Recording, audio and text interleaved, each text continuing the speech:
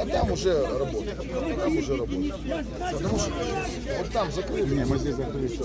Здесь не будет. Потому что если мы здесь сейчас пропустим, будет везде потом та же история. А вот там пустили, здесь не пустили, это будет бардак.